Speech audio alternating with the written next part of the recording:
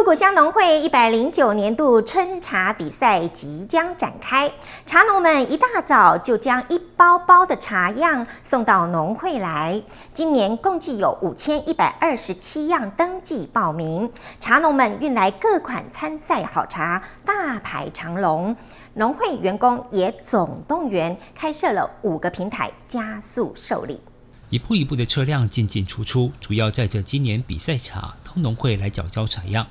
农会茶叶中心广场门庭若市，长农们大排长龙准备缴茶。农会全体员工总动员，开放五个收茶平台受理，从验证报名号次、送件交茶、郑重、筛检、药测、取样子封检，全程迅速严谨通关受肯定。农会理事长陈威义表示，今年由于受到新型冠状肺炎影响。在安全防护方面，都依照中央政府指示。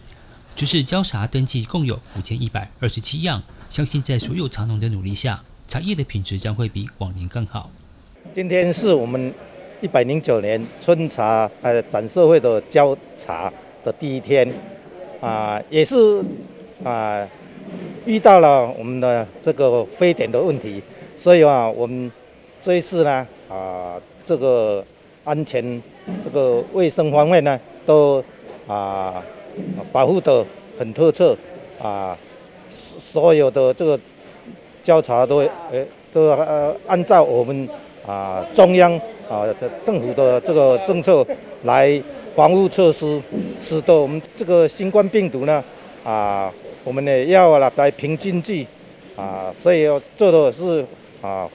非常的完美啊，今天。这一次呢，啊，缴茶有啊五千一百二十七样，啊，相信呢，呃，这一次啊，大家的努力之下，把今年的啊这个茶叶的品质呢，都能能够提高。因为今年为什么会都这个品质都会提高呢？因为以前这个春茶的时候是从冷到热，但是今年呢，遇到了那这个三月雪。又有四月雪，所以呢，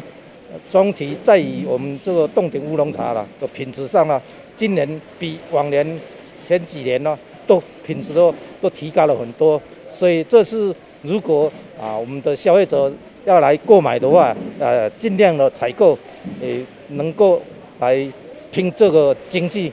常农表示，今年除了双害之外，所生产的茶叶都非常漂亮，在制茶的过程中，天气也非常好。所以今年茶叶品质相信会很好。今年哦，除了深海以外，但是发起的地拢真水。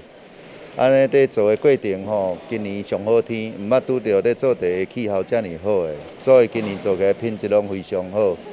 今年较欠的是迄个采摘的工人俩，啊那无一切吼做起来地品质比往年拢有较好。